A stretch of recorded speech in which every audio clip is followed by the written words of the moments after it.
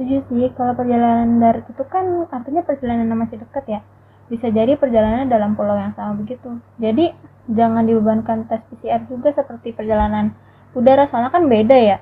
Masa nanti mahal tes PCR daripada ongkosnya kan gak lucu. Sebagai orang yang sering menggunakan transportasi umum, saya merasa keberatan karena saya harus melakukan kocek lagi untuk melakukan tes PCR atau antigen. Setuju banget, jangan sampai ada oknum-oknum yang ingin memeras warga dengan tarif PCR tinggi langit. Dan kalau bisa, tarif PCR diberi diskon untuk orang-orang tertentu yang se memang sedang kesusahan dalam ekonominya. Menurut saya itu perlu ditindaklanjuti ya, karena uh, rumah sakit atau lab itu harus melakukan sesuai prosedur atau SOP yang telah berlaku dan harus melakukannya itu juga sesuai dengan Permenkes